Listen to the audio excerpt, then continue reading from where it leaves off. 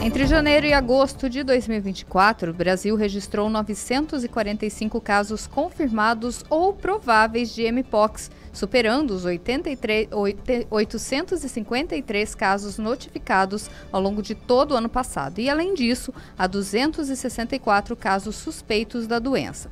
O Sudeste concentra a maior parte desses casos, com 80% do total, sendo São Paulo o estado mais afetado, com 487 casos, seguidos por Rio de Janeiro, com 216. A maioria desses casos confirmados é de homens, com 95%, e a faixa etária mais afetada é de 18 a 39 anos, com 75%. Há 69 hospitalizações registradas, sendo cinco casos em unidade de terapia intensiva. Não houve óbitos ou casos da nova variante 1B da Mpox no Brasil até agora, e a maior parte dos casos suspeitos também está em São Paulo.